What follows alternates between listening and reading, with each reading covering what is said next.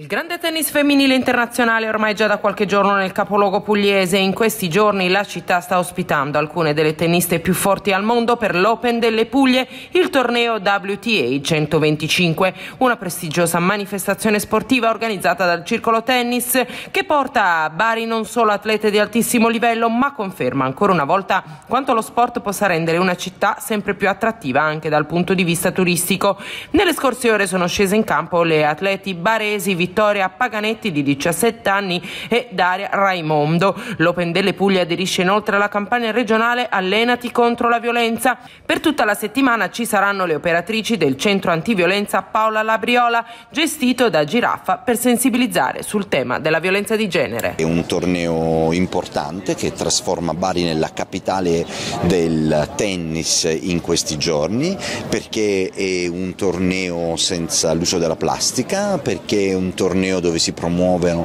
anche i corretti stili di vita e perché c'è tanta gente che gioca a tennis ma soprattutto guarda queste ragazze brave, queste atlete che si impegnano facendo anche tanti sacrifici. Una seconda edizione incredibile ma io lo, lo sapevo perché insomma l'anno scorso è stata una sorta di numero zero, quest'anno invece è, è, proprio la prova del 9. È un torneo importante, un torneo, una seconda edizione che sicuramente eh, conta delle giocatrici giocatrici anche eh, con un livello molto più alto